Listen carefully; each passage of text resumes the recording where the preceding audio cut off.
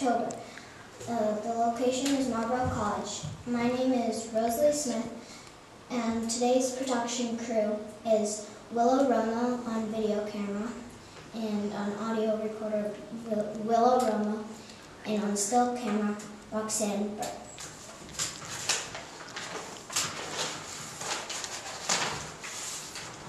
I'd like to ask you a few questions about your background.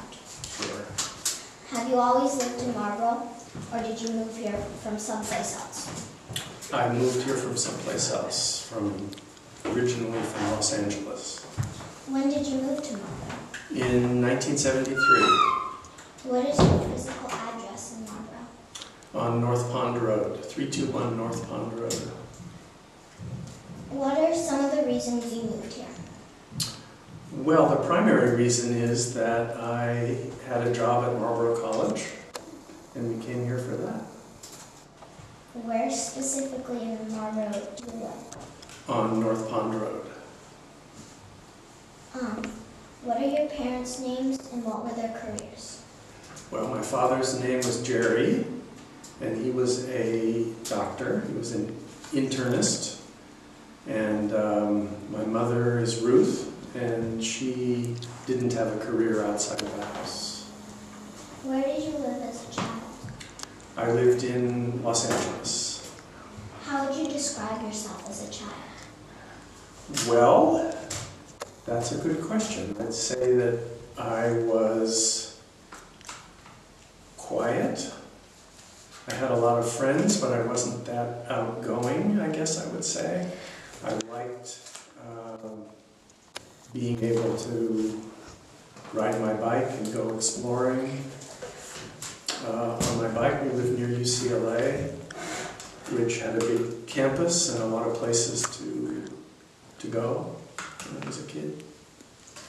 How many brothers or sisters do you have and what are their names?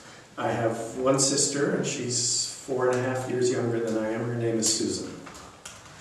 Where does she live now? She lives in New York City. What high school did you go to? Uh, my high school was University High School in Los Angeles.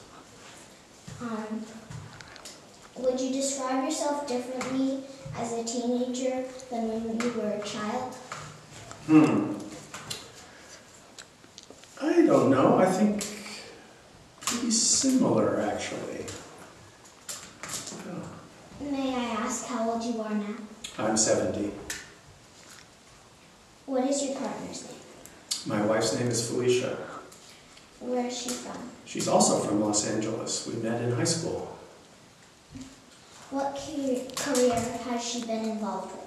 She is a teacher and was a special educator for many, many years and is now retired. What are your children's names? Our daughter is Joanna and our son is Daniel. Who were their teachers when they attended Marlboro School? Ooh, you're going to make me remember that? Uh, well, they had many teachers when they were here. Um, it was quite a while ago, so um, Mr. Mr. Cole was the principal when Joanna was here, and she had him for the seventh and eighth grade, and Mrs. Barton uh, was here as the principal after that. Uh, boy, Daniel had uh, Mr. Edelstein in, in junior high, and uh, I'm trying to remember, he had Mr. Esau, he had Mrs. Nero in, the, I think, the first and second grade. He had, uh, uh, boy, it's hard to remember all the teachers that they had. What are each of them doing in their lives now? Well, Joanna eh, lives in Wisconsin, and she is a biologist, and she studies trout, and she works for the state of Wisconsin. And Daniel uh, studies classics. He has a degree in classics, and he is teaching classics right now. You also have grandchildren. What are their names and ages? Where do they go to? Where do they attend school? Where do they? well, in Wisconsin, um, Noah and Maya, and they. Uh, Noah is nine, Maya is twelve, and they uh, Maya just started junior high in Wisconsin, and Noah is in school at Emerson Elementary School, which is right across the street from where they live in New York. Anatole um, is eight, and uh, he goes to a public school in New York that has a bilingual program in French because uh, my daughter-in-law, his mother is French, and um, they want him to be bilingual, so he's in a bilingual school program. And Balti, who is Daniel's stepson, Marianne's son, um, is in high school in, in, in Brooklyn. Over the years, you have had a number of Marlboro Town voluntary jobs. Yep. On what town boards have you served? Well, uh, way back when our kids were at MES, I was uh, worked with the PNF quite a lot. But in town, I've been I was on the planning commission for about ten years, and I was on the hogback committee that helped to raise money to purchase the hogback property for the town. Um, I'm on the historical society board right now. What are some of the reasons why you have volunteered? Well, that's a good question. I think that it's, uh, this is the kind of community that really depends on members taking part in making the community work, and it's something that I'm particularly interested in, in doing and in seeing uh, be successful. I'm interested just sort of in my own life and teaching and otherwise in land conservation, and so working on the planning commission and the hogback commission seem to be good good opportunities for me and I think helpful for the town as well. I'd like to ask you some questions today about your working life. Okay. Would you begin by explaining a little bit about what field of economics includes and why it's important? Okay, well that's a good question. Um,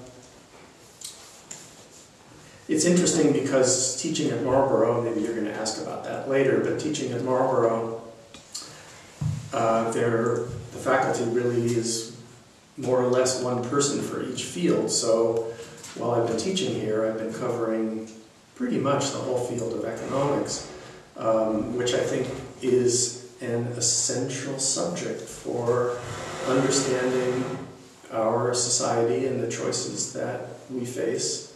Economics is the study of how different societies and cultures provide for their livelihoods, um, who, how things get produced, how they get distributed, um, sort of who gets what. Are things equally distributed? Or Are they unequally distributed? Um, it's a very important subject. Um, how did your interest in economics develop? Uh, it was somewhat accidental, I guess I would have to say. I took an economics course in high school, and then I guess because it was somewhat familiar to me, I took an economics course my first semester at college, and I got very, very interested in the subject. And it gave me an opportunity to study a lot of different things that I was interested in studying. And I got more committed to um, the subject, and then I decided to pursue graduate study. Um, and then I came here. When did you decide that you would devote your time to it? I guess when I was an undergraduate, I wasn't really sure. Uh, by the time I got to graduate school, I wasn't really sure that I made the right choice, but then I decided that I had and I stuck with it. So it was when I was an undergraduate. Colleges or universities have you attended? I went to the University of California at Berkeley for my undergraduate, and I went to Yale University where I did my PhD. What were the main subject areas you studied at university? Well, in graduate school, it was an economics degree, so I was studying mostly economics, but I also took some anthropology and I took some classes at the forestry school in wildlife management and in land use planning. As an undergraduate, I did courses that were in economics because that was my major, but I also did uh, some art courses, some studio art courses, and other social sciences and history, and a whole variety of, of different subjects as an undergraduate. You have you have a doctoral degree in economics. What is your thesis about? The thesis? I was interested in environmental history, and I was especially interested in wildlife. And the thing that I wanted to know about wildlife was, among other things, how did we end up with the kind of regulations and laws about wildlife that we have in most of the United States? Who has the, what rights do wildlife have? What rights do people have to hunt or to keep animals or to enjoy seeing animals or interacting with them. And so I was interested in the whole question of how people and animals relate to each other. Did you always feel that you wanted to teach at the college level, or did you consider other levels such as high school? I didn't really consider high school. I think that once I was in graduate school, I decided that teaching college was the thing I wanted to do. How did you come to Marlboro College to teach economics? Well, it was an interesting story. Most of the people who were in graduate school with me were interested in going to big universities or interested in working for government or working for businesses. And I knew that I wanted to teach in a small college that focused on interdisciplinary study.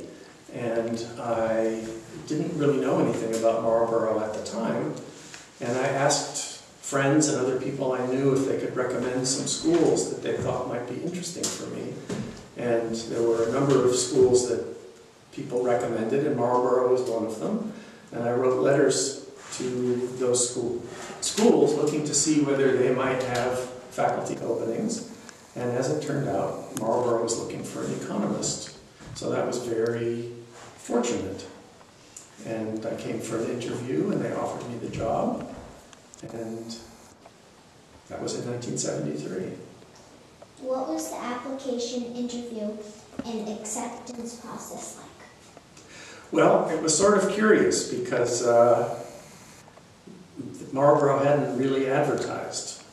And so when I wrote a letter to the dean wanting to know if there were any positions available, there weren't really any positions available, but as it turns out, the college was looking for an economist, they just didn't really know it yet. So they invited me to come, and they offered me the job based on coming up to visit the campus and meeting with the faculty and meeting with students. So it wasn't really a competitive process, as it turns out. They were looking for somebody. I came at the right moment, and uh, they offered me the job. In what year did you accept the position? That was in 1973. What is it about Marlboro College that caused you to want to teach here, and why have you continued to teach here? Right. Well, I didn't really know when I first came that I would want to continue to teach here. It was somewhat of an experiment for us. You know, we grew up on the West Coast and we'd never lived in a rural town before and never lived in a place where winters were so uh, severe, I guess I would say. So we weren't really sure that this was a place that we would want to stay. It turned out, though, that uh, it was just a wonderful place to teach in terms of the opportunities that it gave me to design my own curriculum and work individually with students who were engaged and excited about learning. And because of the independent nature of the program here, um, students taught me a lot as well, because in order for me to help them learn, I had to learn from them what they were interested in and what they already knew about the subject. So it was just a very, uh, was a perfect place for me given my, given my interests. Though you have recently retired from full-time teaching, for how many years have you taught here? Well, I taught from 1973 until about 2013, so 40 years. And then the person, the economist who was hired to teach in my place, only stayed at the college two years. And so um, I had the opportunity to come back and teach a course this semester so that there was some economics being offered. So I'm teaching now, again. Over the years, what are some examples of courses have you taught? Well, I've taught quite a range of courses, ranging from uh, courses about environmental economics and policy to courses on land use and land use control, on uh, uh, wildlife policy, environmental history, comparative economic systems, um, lots of courses on economic development, quite a range of courses. Which have been among your favorites and why? The courses? Well, I think the courses that are somewhat interdisciplinary, that connect to the interests that I had when I first came to the college in environmental issues, um, are the ones that I found most engaging, and I suppose that would include the environmental economics and policy, of course, that I've done on, on wildlife policy and law. Um, and I think those are courses that also seem to engage students, which means that they're more meaningful and enjoyable for me to teach. What course are you teaching this semester? Right now, I'm teaching an introductory course called Economic Systems, which looks at some basic perspectives in economics that have to do with how different kinds of economies are organized, who does what kind of work, and what kind of exchange relationships there are, and so on. What are some of the ideas you want your students to understand about the subject matter of the course? Well, aside from the general interest that I hope that they take away in the subject matter of economics, I want them to understand that there are real consequences of the way that economies are organized and the kind of policies that are adopted. They have real consequences for how we treat our natural resources, for how we treat each other, for what kind of services we expect to provide for one another through government or through volunteering. Um, the kind of the way that economists analyze questions like that gives a lot of insight into the choices that we have about all of those things. What interdisciplinary classes have you been part of? Well, most of the ones that I mentioned are interdisciplinary, but there are, I've also on occasion taught with other faculty members um, as well. So I'm not sure if that's what you mean, but many of the courses that I teach are interdisciplinary, and those are ones that I mentioned before, having to do with environmental issues, wildlife. Would you explain, would you explain a bit about your favorite one? Boy, that's hard because in 40 years I've taught a lot of courses, and sometimes I repeat them. In fact, often I've repeated them, but there are many, many over the years. So my favorite one is, is pretty hard to say because, you know, it depends quite a lot on which students I happen to have. A good group of students who are engaged with the material and are thoughtful and, and so on can make any class that I teach seem like my favorite one. So it's pretty hard to say, I guess. But I don't know how I choose my favorite class. Um, have you taught elsewhere in your career? If yes, where? I haven't really. I came here as my first teaching job. I was a teaching assistant when I was a graduate student, so I did some teaching when I was at Yale. But um, relatively little. I was mostly assisting other faculty. Um, and since I've been in Marlboro, I wasn't necessarily expecting to stay all this time. Um, I haven't had the opportunity to teach elsewhere. So It's only really been Marlboro. If you could teach for one year at any college or university anywhere in the world, which one would you choose? I don't know how to answer that. It, it depends. Boy. Hard to say. It's really hard to say because some of that would be a matter of choosing where I'd like to live, and some of it would be a matter of choosing what kind of college I'd like to be teaching in. That's, I, I don't really know how to answer that. I think I'd like to teach in England. And as a matter of fact, going back to that other question, Marlboro had a, a an arrangement with a small college in London called Huron University a number of years ago, and I did have the opportunity to go there for a summer and to teach a class. Why? Why? Yes. Why what? I guess why we could. Why would you like want to teach in England? To teach in England? I don't know, because that reminded me of the fact that I taught there before, and that was a really enjoyable experience. So, you know, we like to travel, and I'd like to teach somewhere that would give me the opportunity to travel either to someplace I've been before and liked, or to travel to someplace, someplace new. What courses would you want to offer and why? If I were teaching at a, at a Yeah, university, so. Yeah, well, I guess I would want to offer, you know, some courses uh, similar to ones that I've taught before. I don't know that I have a, a brand new course idea that I haven't had a chance to, to teach. Uh, hard, hard to say. I would probably go back to some courses that I've taught before that I've enjoyed quite a lot. From the perspective of when you were teaching full-time, would you please describe a typical day at work as a teacher, from when you arrive at the college until you leave for home? Right. Well, the teaching schedule here is pretty individualized. Faculty set their own schedules and they make their own arrangements with students. So my own schedule might be very different from other faculty members, but I usually taught two or three classes a semester, and those classes usually met three or four hours a week. So they might meet two days a week. And then I would have tutorials, individual meetings with students who were doing independent study.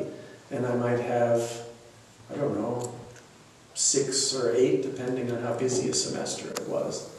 So I wouldn't have the same schedule every day. I probably would have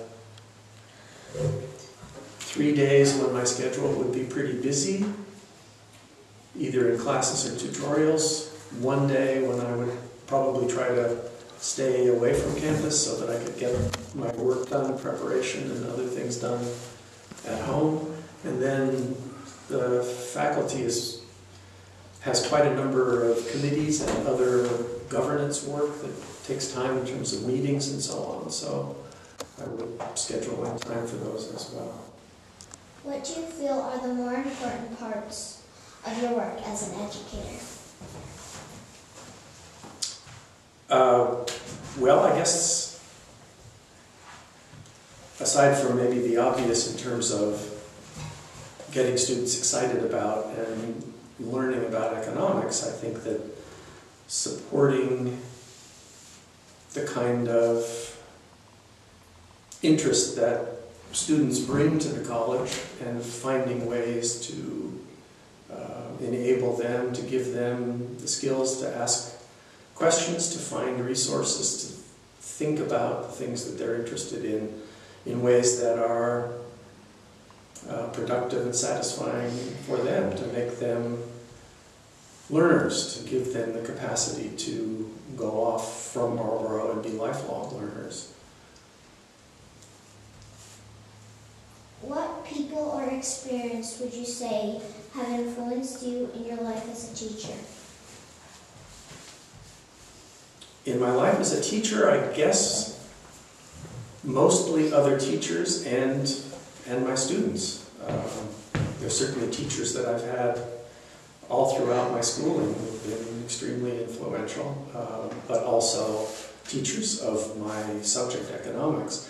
But also, many of the students that I've had um, have been really influential in helping me think about what's important as a teacher, what's important as an economist, what's, what's important as a, as a mentor for students. Um, in what ways have they influenced you? That's pretty hard to say. I mean, I'm not sure that I have a simple good good answer for that. Um, when uh, uh,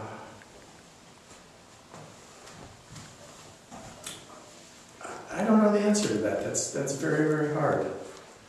I mean, I can think of specific examples maybe, but I can't think of kind of general general answers to that. Sorry about that. What are some parts of your job you really like? Well, I'd say that I really like most of my job. I mean, assuming you mean when I wasn't retired, while I was teaching full time, or even now when I'm teaching the course. Um, I I really like talking with colleagues here and with students about common interests and about common problems that we can work on together. I like it when students get excited about the things that I know and can help them understand. Are there parts of your job you dislike or find less pleasant, but you do anyways, anyway because it's part of your job? Hmm. It sort of depends how busy I am overall, because there's no part of the job that I dislike. Sometimes the job seems overwhelming and that there are too many conflicting responsibilities and not enough time, maybe sometimes to feel like I can do all the parts of my job as well as I'd like to. So it's not that there are parts that I don't like so much, is that um, sometimes the workload is, is challenging. What are some of the ways the job of an educator has changed over your career? That's kind of hard to say because in the meantime I've been changing. So it's a little hard to know whether the way that I perceive the job of an educator is due to the fact that I've been an educator for the number of years that I have, or because the kind of students that come to the college have changed, or because the kinds of, the amount of preparation that students bring to the college in general has changed, having to do with their high schools, having to do with technology that they have available to them. It's, it's really, it's hard to know. It's hard to know.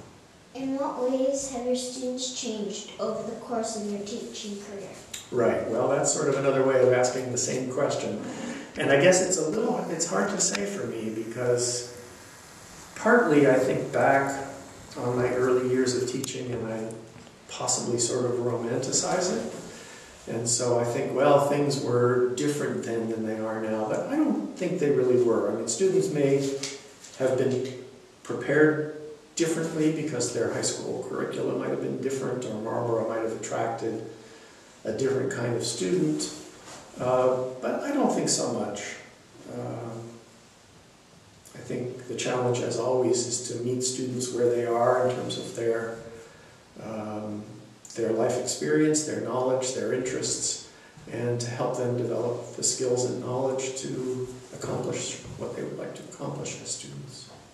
What have your recent students' plan tutorials been about? Well, because it's been a few years since I've had plan tutorials before I retired, um, I have to think back a little bit in terms of what recent students were doing, but um, I have worked with students who were interested in uh, international food security. I've had students who are interested in some ideas about the history of economics. I've worked with um, students who have had interest in nonprofit organizations and with uh, economic development. Um, qu quite a range of quite a range of subjects. What do you want a plan student who has worked with you to understand about economics or learning in general? Well, um, I, I want a, a plan student in economics to be familiar with the history of economics and the kinds of concerns that economists over the decades and over the last couple of centuries have brought to the discipline. I want them to be um, intellectually curious. I want them to be ambitious in terms of what they want to understand. Um, I don't know. What else? What have some of your former students gone on to do? Well, they've gone on to be lawyers and they've gone on to be, right now, I have uh, several students who are doing graduate work in economics, one who's doing graduate work in, uh, in development policy, international development policy. I've had students who are uh, in the field of environmental policy in general. Some who are teachers. What would you say are some of the unique qualities of Marlboro College? Well, aside from its size, which is sort of obvious, I think that the unique qualities are that it's largely a self-governing community and the faculty operates uh, as a confederation of independent teachers. It's not highly structured in terms of bureaucracy. We don't have academic departments. Faculty are quite autonomous in making decisions about what courses to teach, about the terms on which they work with students, about how to collaborate with one another, how to balance their teaching with their research. Um, and so I think Marlboro is quite distinctive, both in terms of how the faculty operates and in terms of the expectations that we have for students and the kind of independence over the course of their years here. What are some of the challenges that this that small liberal arts colleges face today, and what do you see as the future of Marlboro? Wow.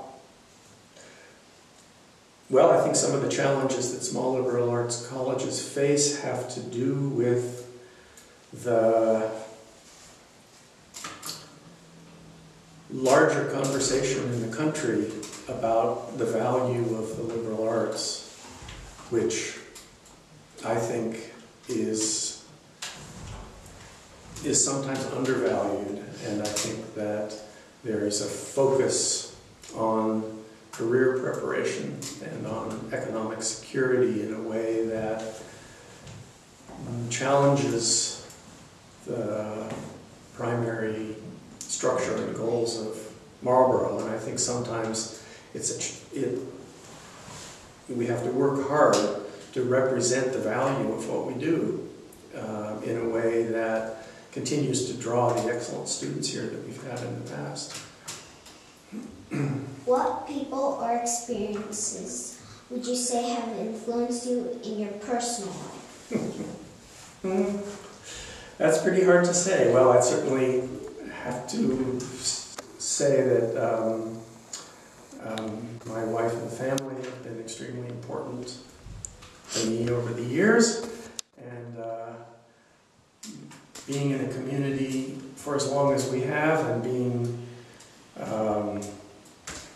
able to form the kinds of friendships that we've formed with people in town and people in southern Vermont in general, combined with long-term relationships that we've had with friends from growing up in Los Angeles or from school in various places, has been um, extremely influential and supportive to me. In what ways have they influenced you? Uh, I, I don't know the answer to that exactly. It's, it's a little hard to say. I can't think of anything. Uh, They certainly help me remember that work is not the only thing that there is for me to do in this world, uh, to give me a little perspective on the importance of um, living my life fully and having as many different kinds of experiences as I can, spending time with family and friends. Now that you're not teaching full-time, you've been exploring pottery and with making collage. With whom have you studied these art forms? Well, as I mentioned before, I did take some art classes when I was an undergraduate, and so as I started to retire, I thought, well, that would be a pretty interesting thing for me to do, is to go back and pick up some of the work that I was doing all those years ago. So um, I had the opportunity in talking with the, my colleague Martina, who was teaching ceramics at the time, um, to audit and take a couple of classes from her, which I did and I enjoyed thoroughly. And uh, also uh, with a potter named Megan, who was here at a time when Martina was on leave. Um,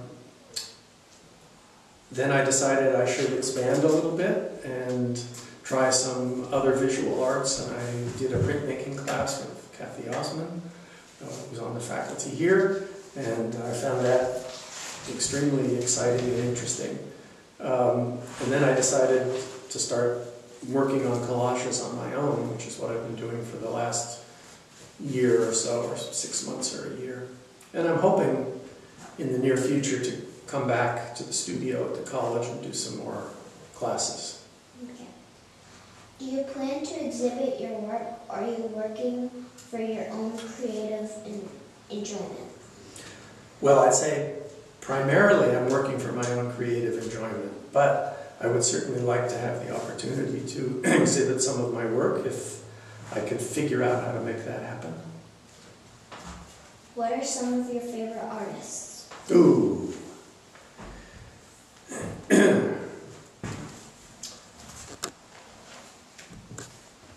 I should have prepared something. You know, it's very hard for me to identify particular artists who have been influential. Um, because I keep finding new people whose work I really admire and whose work I learn from. Um, I keep telling myself that I need to pay more attention to the body of work that's out there that might be informative to me. And I haven't done that very systematically, and it's something that I'd like to do. Is there anything else about your work or your life that you'd like to mention but I haven't asked about? Oh.